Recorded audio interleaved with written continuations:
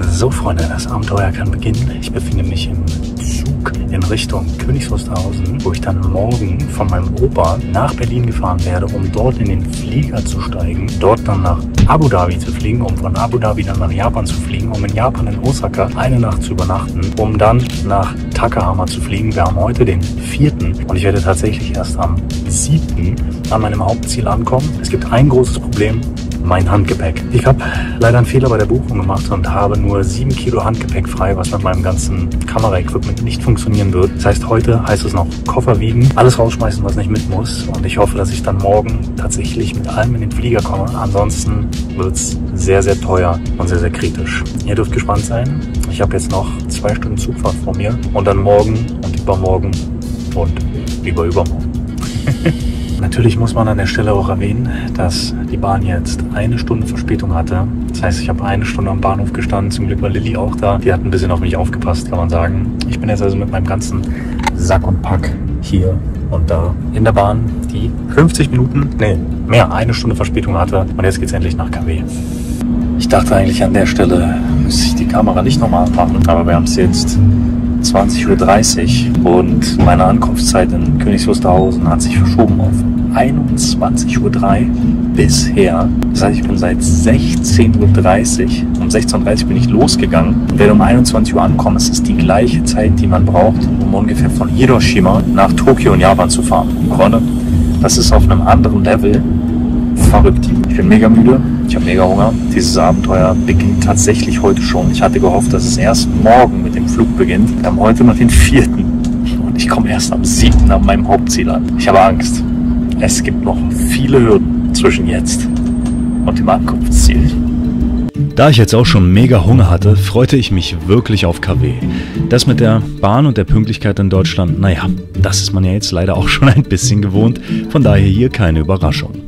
Der erste Teil der Reise ist geschafft. Ich wünsche euch eine wunderbare Nacht. Ich bin jetzt in KW angekommen, muss jetzt auf meinen Opa warten. Der ist jetzt leider noch ein bisschen zu spät. Aber ist nicht schlimm. Wir haben es jetzt nach 21 Uhr. Ich bin mega hungrig, werde gleich was essen. Gute Nacht, Freunde. Wir sehen uns morgen. Hey, moin Freunde. Heute ist der Tag der Abreise. Wir haben es jetzt 9.20 Uhr. Ich habe relativ gut geschlafen. Ich bin ja das erste Mal seit meiner Kindheit wieder bei meinem Opa und habe bei meinem Opa geschlafen. Irgendwie auch mega witzig. Es ist jetzt kurz nach neun. Es wird heute so gegen schätzungsweise 13 Uhr losgehen. 14 Uhr ungefähr will ich am Flughafen sein, weil 16 Uhr mein erster Flug geht. Ich habe euch ja gesagt, dass ich noch große Probleme mit dem Gewicht meines Gepäcks habe, weil ich nicht richtig hingeguckt habe bei der Airline. Ich habe jetzt versucht, den ganzen Morgen meinen Koffer als auch meinen Rucksack auf das erlaubte Gewicht zu bringen. Ich bin jetzt beim Rucksack bei 8,25 Kilo, sieben sind erlaubt. Ich weiß es nicht. Ich kann aber auch nichts mehr rausnehmen, bin ich ehrlich. Es ist jetzt wirklich reduziert auf mein Laptop, meine Kamera mit einer Linse, zwei Kamera-Akkus, drei GoPro-Akkus und die Drohnen-Akkus. Ich habe die Drohne, ich habe die Kamerafilter, ich habe die große Zoom-Linse tatsächlich jetzt in den Koffer gepackt und hoffe einfach, dass das gut gehen wird. Ich habe alles in Kleidung eingerollt, also ich hoffe, dass es was wird. Der Koffer liegt jetzt tatsächlich bei mh, 23, irgendwas Kilo. Lass es 24 sein, also ein Kilo hätte ich noch Luft. Ich habe aussortiert das kleine Tamron-Objektiv. Da bin ich am überlegen, ob ich es auch einfach noch in den Koffer packe, dann wäre der Koffer sozusagen auf seinem Maximalgewicht. Ich habe aussortiert, oh warte mal, der Tee ist ready. Ich muss den Tee mal kurz machen. Opa hat Tee gekocht und der war jetzt kurz fertig. Da wollte ich jetzt natürlich kurz mal den Timer ausstellen, weil der hat richtig gepiept. Ja, also ich glaube, das Tamron-Objektiv packe ich definitiv noch in den Koffer, weil ich möchte nicht darauf verzichten. Es ist ein Ultra-Weitwinkel-Objektiv. Ja, ich will eigentlich nicht darauf verzichten. Ich habe diese ja, Akkuvergrößerung für die Kamera. Da kann man noch zwei zusätzliche Akkus reinstecken. Die habe ich jetzt aussortiert. Ich habe aussortiert den ja, Akkulader für die Akkus, für die Kamera. Der wiegt relativ viel mit seinem Kabel. Dann werde ich die Kamera einfach so laden. Und ich habe aussortiert die Powerbank. Ich weiß noch nicht, ob mir das das Genick brechen wird. Ich hoffe auf Steckdosen an allen Flughäfen, auch in Abu Dhabi. Da bin ich ja über Nacht sozusagen am Flughafen. Also aussortiert ist auch diese Powerbank. Die wiegt natürlich einen Haufen. Das ist allein ein Kilo, würde ich sagen. Oder 800 Gramm oder sowas auf jeden Fall. Wird es klappen? Ich weiß es nicht. Ihr werdet sehen, denn die nächste Szene wird sicherlich dann irgendwann am Flughafen sein. Vermutlich nochmal vor dem Check-in. Definitiv dann aber nach dem Check-in. Bis gleich. Kleines Update. Koffer ist auf jeden Fall eingecheckt gerade. Das hat schon mal funktioniert. Äh, jetzt muss ich nur noch mein ja, Security-Check-In überleben. Service war so, hm, ja, okay, keine Ahnung. Äh, man hat mich zum Beispiel gefragt, äh, haben Sie schon dieses Declaration-Form für Japan ausgefüllt? Da habe ich gefragt, das ist nicht normalerweise das, was man im Flugzeug bekommt. Keine Ahnung, kann ich Ihnen nicht sagen, müssen Sie einfach ausfüllen. Ich sage, okay, haben Sie vielleicht noch einen Tipp für mich, wo ich das finde? Ja, müssen im Internet eingeben. Ich sage, okay, muss ich das dann ausdrucken und einfach nur bei mir führen? Keine Ahnung, müssen Sie sich mal erkundigen. Ich sage, okay, alles klar, dann mache ich das. Weiß ich nicht, also kenne ich nicht, ist mir jetzt neu, werde ich vielleicht gleich nochmal nachfragen. Ich habe jetzt Security Check-in vor mir. Ich bin gespannt. Jetzt geht es mit dem Handgepäck los, Kamera-Equipment. Vieles jetzt im Rucksack, äh, vieles jetzt nicht mehr im Rucksack, sondern im Koffer. Und ich bin echt ein bisschen zittrig, ob nachher in Japan alles heile ankommt. Aber das werdet ihr sehen. Ab geht's. Kontrolle habe ich überlebt. Überhaupt kein Problem. Die chilligsten Sicherheitsmitarbeiter, die ich in meinem Leben je gesehen habe, die waren richtig cool muss ich wirklich sagen, Props gehen raus. Richtig coole Leute, richtig spannend waren die gewesen. Ähm, ich bin jetzt froh, dass es geklappt hat, dass alles lieb und nett war und ich durch bin. Die Frau nach mir wurde auf Sprengstoff kontrolliert. Alarm. Polizei ist rauf. Die sind jetzt da vorne. Die meinten, kann passieren. Wird jetzt auf jeden Fall kontrolliert. So, also, ja, mach jetzt meinen Weg erstmal zum Gate. Update kommt. Um ganz ehrlich zu sein, werdet ihr wahrscheinlich gleich merken in den folgenden Videoclips, dass es mir gar nicht so gut ging. Ich habe ja relativ viel Flugangst und ja, mein Magen wollte an diesem Tag wirklich nicht so richtig mitmachen. Oh, okay, das ging jetzt schnell. Ich habe meine mein Boarding verpasst. Ich hatte Kopfhörer auf. Und Zone 1 war schon. Ich bin Zone 1. Puh, jetzt geht's los, Leute. Jetzt geht's los. Jetzt ist hier Stau, weil alle mit dem Handy spielen. Ja, geht los. Ich bin ein bisschen aufgeregt. Ich fliege ja nicht so gerne. Magen rebelliert auf jeden Fall richtig hart. Aber da muss man durch, wenn man lang fliegen will. Und jetzt bin ich gespannt, ob ich noch äh, für mein Gepäck oben im Fach noch einen äh, Platz bekomme. Oder ob das schon wieder alles belegt ist. Das ist ja gerne immer belegt. Los geht's, Freunde. Los geht's.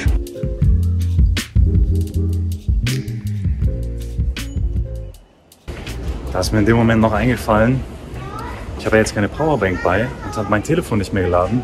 Ich habe jetzt 80 Prozent. Ich werde damit filmen und ein bisschen Musik hören. Aber glücklicherweise haben die Drohnenbatterien. Das Case ist wie eine Powerbank. Also ich bin gespannt, ob das reicht. Die sind leider auch nicht geladen, die Drohnenakkus. Das heißt, ich habe vier Akkus, die sind zusammen gerade mal voll wie einer. Also das heißt, wenn ich dann lande, muss ich irgendwie alles aufladen und dann hoffen, dass die Batterie reicht. da muss an alles denken. Daran ist Unglücklicherweise trat im Flugzeug wirklich der schlimmste Fall ein und es ging mir den ganzen Flug über ziemlich schlecht. Ich war wirklich froh, dass ich ausgestattet war mit genug Medikamenten, um mich zumindest damit so ein bisschen zu versorgen und meinen Magen in den Griff zu bekommen. Was meine Kabel anging, hatte ich hier in diesem Flieger noch richtig Glück, weil die tatsächlich einen USB-C-Anschluss hatten und ich so meine ganzen Geräte laden konnte. Meine Befürchtung, dass ich also ja ohne Handy im Flieger sitze und nicht mal Spotify habe, um mich abzulenken, wurde hier tatsächlich noch nicht wahr. Schlafen konnte ich auf diesem Flug noch nicht so wirklich, aber ich muss sagen, dass alle Mitarbeiter im Flugzeug wirklich extrem nett waren und den Flug wirklich einfach gemacht haben für jemanden wie mich, der sich im Flieger nicht so richtig wohlfühlt. So, Freunde, ich bin jetzt gelandet. Ich bin recht müde und suche jetzt mein Transfergate. Ich bin jetzt in Doha. Ich war hier noch nie, glaube ich. Ähm, es ist ziemlich viel los. Äh, ich muss jetzt gucken, dass ich nochmal einen Security-Check mache. Wasser muss ich jetzt wieder auskippen, aber ist egal. Und ja, hoffe, dass ich hier auch genauso e- easy durchkomme wie in Berlin. Bin echt richtig platt. Ich erzähle euch gleich warum. Ich bin in meinem Leben vorher noch nie in Doha gelandet, hatte aber schon so ein bisschen so eine Vermutung, in welche Richtung es am Flughafen gehen würde. Und ja, ziemlich viel dreht sich hier ums Geld und Luxusgüter. So Leute, ich bin jetzt, ich habe mich jetzt hier hingesetzt. Ich habe mir gerade für 7,47 Euro ja, ein Sandwich gekauft. Ich habe jetzt gerade mega Hunger. Musste ein bisschen suchen. Äh, dadurch, dass ich ja laktoseintolerant bin. Bisschen schwierig, muss ich sagen. Viel mit Käse und so. Ich bin richtig, richtig müde. Ich habe ähm, ein bisschen Probleme mit meinem Magen. Und mir ist auch mega schlecht gewesen. Äh, ich habe ja eh so ein bisschen mit Reisen. Ist ja immer nicht so meins mit Fliegen und so. Ja, man mag es nicht glauben. Aber ja, heute war irgendwie richtig krass. Also ich musste mehrere Tabletten nehmen. Ich habe zum Glück Reisetabletten bei gehabt. Magen hat sich dann beruhigt. Jetzt habe ich aber mega Hunger. Muss auf jeden Fall versuchen, was zu essen. So, ich muss jetzt drei Stunden aushalten. Dann geht mein Flug und er geht dann nochmal neuneinhalb Stunden. Also wir haben jetzt den größten Teil der Reise noch vor uns und ich bin schon, schon echt platt, muss ich sagen. Ich habe Kopfschmerzen. Erstmal was essen, was trinken, mein Gate suchen, versuchen vielleicht ein bisschen zu pennen. Ja, das ist der Plan.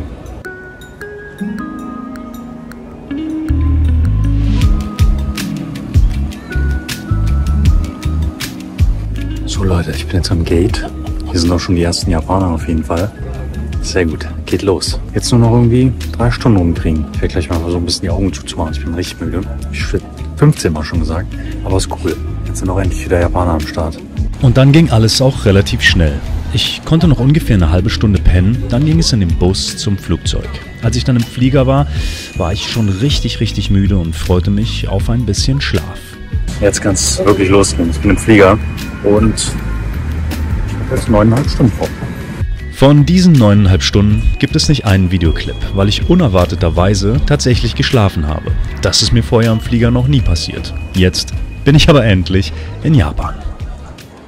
So, Freunde, ich bin endlich da. Ich habe mich jetzt mal in eine ruhige Ecke verzogen, also so ruhig wie es geht, hier bei irgendwelchen Automaten. Ich bin gar nicht so kaputt, wie ich dachte. Der Flug war mega ruhig, alles mega entspannt. Ich konnte ein bisschen schlafen. Mir geht's richtig gut. Mein Koffer ist ein bisschen kaputt. Den haben sie hier, äh, hier irgendwie ein bisschen kaputt bekommen. Ja, das ist nicht so geil. Aber hey, ansonsten alles gut. Ich habe jetzt noch nicht gecheckt, ob drinnen im Koffer alles okay ist. Aber ich muss sagen, mir geht's wirklich top. Ich bin happy, dass ich jetzt wieder hier bin mit den ganzen geilen Automaten. Preise sind ein bisschen teurer geworden, aber liegt vielleicht daran, dass es am Flughafen ist. Checken wir dann alles nach und nach. Ich bin auf jeden Fall mega happy, dass ich jetzt hier bin. Jetzt muss ich äh, Zugverbindung finden und dann zu meinem Airbnb, wo ich dann eine Nacht erstmal bleibe. Also jetzt erstmal Zug finden und zum Airbnb. SIM-Karte, die eSIM, die ich gemacht habe, funktioniert übrigens. Ich habe für 11,50 Dollar mir eine eSIM-Karte eingerichtet. Scheint zu funktionieren.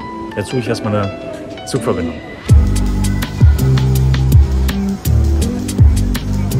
Hier mitten, Linku Town heißt das hier. Das ist hier mitten im Nichts. Hier ist niemand. Und ich muss jetzt noch ziemlich lange zu meinem Airbnb laufen. Also das heißt ziemlich lange, aber der Koffer ist halt schwer. Und es ist heiß, Leute. Es ist einfach über 30 Grad heiß. Ich schwitze. Es ist Mushiatsui, wie man sagt. Also so schwülwarm. Es ist richtig abnormal heiß. Und ja, ich werde jetzt zu dem Airbnb latschen, mir das angucken. Äh, dann werde ich ja wahrscheinlich morgen früh wieder hierher latschen, um dann hier in die Bahn zu steigen, um nach Takahama zu fahren. Also ich werde jetzt erstmal gucken, dass ich mich hier zurechtfinde. Das ist hier wirklich ein bisschen mitten im Nichts. Fette Riesenrad habt ihr gesehen. Und ich muss mich erstmal sortieren. Das ist so geil. Es ist, als wäre ich wieder back home, Leute. Bin wieder back. Beste Land der Welt.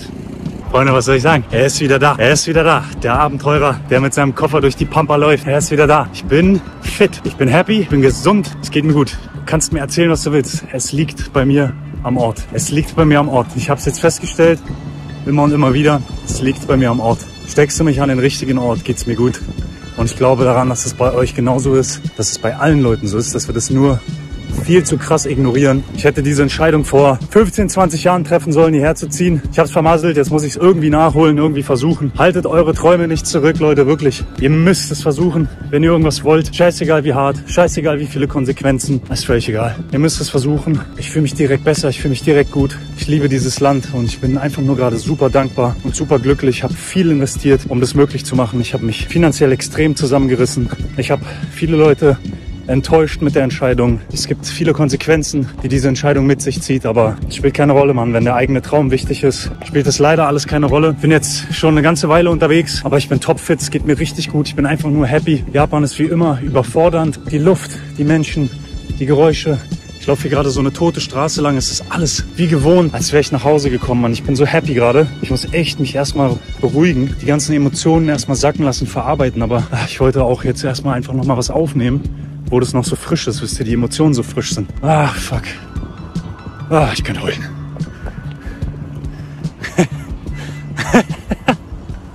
so, Handy-Akku neigt sich auch dem Ende zu. Aber schaut mal, wo ich bin. Ich bin hier wirklich mitten im Nichts. Oh, die warten jetzt, ob ich darüber gehe. Und das ist jetzt hier in der Seitenstraße. Das ist extrem wild. Also ich bin gespannt. Das soll jetzt hier drin irgendwo sein. Ich bin gespannt, Freunde.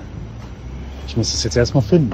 Hier ist auf jeden Fall ordentlich was los. So eine typische Industrie- Osaka-Gegend. Hier gibt's auch nichts, ne? Also ich muss heute nochmal zum Kombini. Aber ich muss jetzt erstmal nach dem genauen Standort gucken. Okay, ich glaube, ich habe es gefunden. Es müsste das hier sein. Alter, das ist mitten im Nichts, ne? Also wirklich hier Süd-Osaka, Süd-Osaka lokale Gegend. Das müsste es sein. Jetzt muss ich erstmal gucken, wie ich da reinkomme.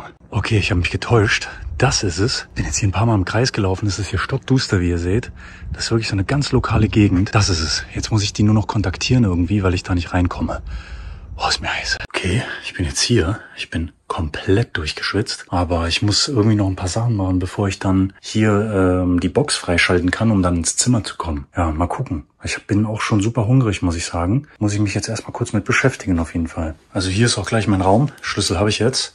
Wenn wir das mal zusammen machen. Mir ist so heiß, Leute. Es läuft einfach überall. So rum.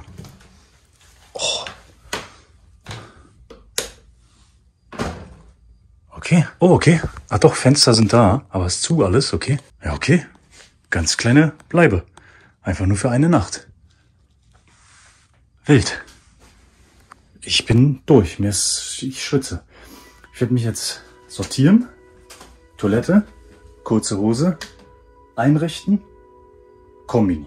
Freunde, ich weiß, ihr könnt vermutlich überhaupt nichts sehen, aber hören ist in dem Fall auch wichtiger als sehen. Ja, ich war jetzt eine Weile im Zimmer, habe Klimaanlage angemacht, mich ein bisschen akklimatisiert, habe meine Strecke für morgen rausgesucht, habe Familie und allen Bescheid gesagt, dass ich jetzt angekommen bin. Ähm, ich mache mich jetzt gerade nochmal auf den Weg, weil ich mega Hunger habe, noch was essen muss auf jeden Fall. Und ich wollte diesen Vlog mehr oder weniger wirklich nochmal mit ja einer Message einfach an euch abschließen. Also mir ist halt wirklich bewusst geworden über die letzten Jahre meines Lebens, dass ich halt lange ein Leben gelebt habe, was ja abhängig war von Entscheidungen von anderen Leuten. Ich eigentlich ja wusste, was ich brauche und was ich will, aber es mir halt immer nicht genommen habe, weil ich immer Angst hatte vor den Konsequenzen. Was passiert, wenn ich mir nehme, was ich brauche? Dann bin ich alleine oder ich lasse jemanden im Stich. Und ja, bin jetzt 33 und muss wirklich gestehen, ich habe viel erlebt, ich habe viel gemacht und ich hab, würde mein Leben so nie in dem Sinne bereuen wollen. Aber ich muss wirklich sagen, dass es doch einige Entscheidungen gibt, die ich hätte besser treffen können und die ich jetzt nachträglich leider später erst treffen kann. Und das ist natürlich viel mühseliger, als sie in jüngeren Jahren zu treffen. Ähm, und ich kann wirklich nur an euch appellieren, dass ihr euch nicht zurückhaltet. Ja, und wirklich das macht, was ihr braucht für euch selber, Mann. Egal, was das erstmal Konsequenzen für andere bedeutet. Es ist halt manchmal einfach so im Leben, dass man irgendwie seine, sein Glück finden muss. Ich kann euch nur sagen, dass ich mich Bombe fühle. Das Airbnb ist auch wieder so ein mystisches Ding, wo irgendwie, keine Ahnung, du könntest mit einer Büroklammer alle Türen aufmachen und trotzdem fühle ich mich sicher. Trotzdem weiß ich, mir wird nichts passieren. Ich könnte hier jetzt mit 20.000 Euro Bargeld rumlaufen. Ich bin hier mitten im Sack. Die gleiche Gegend irgendwo anders und ich würde schon wieder nur rechts und links gucken gefühlt. Und hier, ja, ich mache mir hier keinen Kopf. Guck mal, ich laufe jetzt hier in so eine Baustelle rein und ich muss wirklich sagen, das gibt mir ganz persönlich als jemand, der vielleicht auch ein bisschen vorbelastet ist mit bestimmten Ereignissen, die passiert sind und so weiter und so fort. Es gibt mir einfach die Freiheit, mich zu entspannen. Ich bin völlig entspannt. Ich bin ein ganz anderer Mensch hier. Ich bin, ich bin einfach ein ganz anderer Mensch hier. Meine, meine ganze Kreativität ist wieder da. Meine ganze, mein ganzer Tatendrang, mein, mein Spirit ist einfach wieder da und ich bin einfach happy und ich wollte das mit euch teilen. Ja, wollte euch einfach vielleicht auch mal sagen, ja, dass nicht immer alles so ist, wie man es denkt oder dass nicht alles mal so einfach ist, dass die Reise für mich zum Beispiel hierher, wie ich jetzt schon mehrfach erwähnt habe, auch mit vielen Kompromissen verbunden war. Nicht nur finanzielle Kompromisse, auch ja, anderen Menschen gegenüber, dass es einen gewissen Schaden hinterlässt, dass es aber halt am Ende des Tages leider nur mal so ist. Diese Reise fiel mir auch nicht einfach. Ich habe ja gesagt, dass ich ein bisschen Medikamente nehmen musste, äh, weil ja, bei mir, weil mir es immer alles sehr auf den Magen geht, auch stressmäßig und so. Ich bin halt da sehr sensibel, sehr anfällig. Aber jetzt bin ich hier und es ist einfach nur geil. Und ich werde jetzt tatsächlich, wo ist der Laden? Wo ist der Laden? Ich wollte irgendwo, ist das der hier, der kleine? Hier ist irgendwo ein Geschäft, wo ich jetzt was essen gehe. Ich habe jetzt Hunger, bin jetzt in Japan, ich bin endlich angekommen. Freut euch auf mehr Content. Es wird auf jeden Fall einfachen Content geben, nichts zu kompliziertes, damit ich überhaupt was liefern kann. Ja, ich werde jetzt versuchen, hier irgendwo was zu essen, ein Plätzchen zu bekommen, mein rostiges Japanisch wieder ein bisschen aufzufrischen und wir sehen uns im nächsten Video, Freunde. Ich bin da.